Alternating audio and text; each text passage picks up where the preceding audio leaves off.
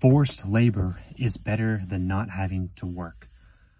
I originally read this one time in a book, and I remember the book saying something along the lines of working is better than not working. Because that's really here why we're here on earth. If you just you go back years years ago, we were working all the time. I remember reading a book like years ago. You we were working literally from dawn to dusk. We were working all of the time, and there was no nine to five, Monday to Friday. Get drunk on the weekends. That wasn't a thing. That that was not a thing. You were working all of the time, every single day, continuously. And when I think of this, it just comes to mind of like working is better than not working. So it's it's truly God's gift in order for us to work. I truly believe that is God's gift for us to work. And if we don't work, we are disgracing God. We are we are not doing what it is that we're supposed to do, our purpose on earth if we're not working, if we're not doing something productive, if we're not helping other people on earth. Like why are we here? Why are we here? We're here to help other people. We're here to motivate, we're here to inspire. We're here that's what life is about. But life is about work. Life is work if you are a man. If you're a woman, it's completely different. Life isn't about work as a woman. But as a man, life's about work. That's all you should be doing, It's just work. Every single day of every single minute, it should be focused on money, how to make money, how to work better, how to improve, how to be better. I mean, that's what work is. Work is better. Because if you look, let's take a job, for example. You work at the job, you start today, you end up there three years later, how much better you got. Work is getting you better, work is getting you improving. Like, how much you improve in three years, the more you do something, the better you're going to get. So, this is why I make it a, a stance to, to cut out all bad habits. Because you smoke weed once, and then you do it again, and then you do it again.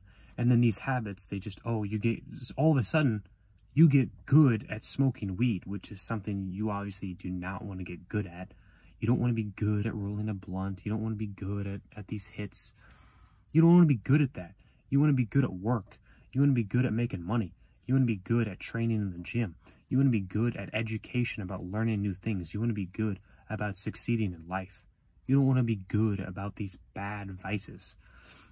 This is why skills are so important in life that you develop these positive good habits so that way you're constantly striving for more every day. You're pushing yourself, you're beating your mind every single day. And if you can do this every day, you're going to stack these positive habits every single day. You're not going to give in to your weak mind. Your weak mind can't beat you. You have to do better. You have to do more.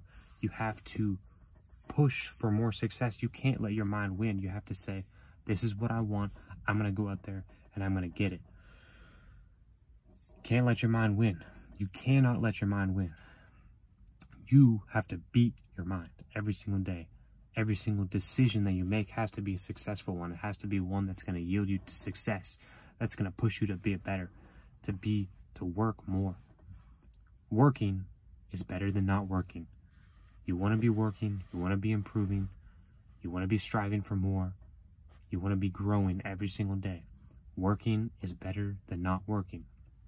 I truly believe this. I could not imagine a life full of hedonism, full of pleasure, full of good tasting foods, full of sex, full of drugs, full of alcohol, full of concerts, full of sports, full of entertainment, all entertainment, full of it. I could not imagine a life living like that. Life is war. Life is war. Every single decision you make is war with your mind. We are not in an actual war, but every single decision you make is a war with your mind. You're making the decision either victory or defeat. Victory, I'm going to go work out. Defeat, I'm going to not go work out. Victory, I'll eat the right foods.